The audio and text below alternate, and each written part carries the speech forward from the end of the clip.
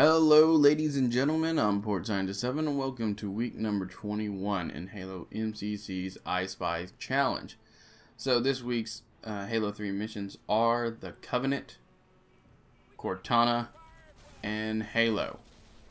Sorry for the late video. I had been busy Wednesday, and I had completely forgotten to make the video for uh, Wednesday. So, here it is on Thursday.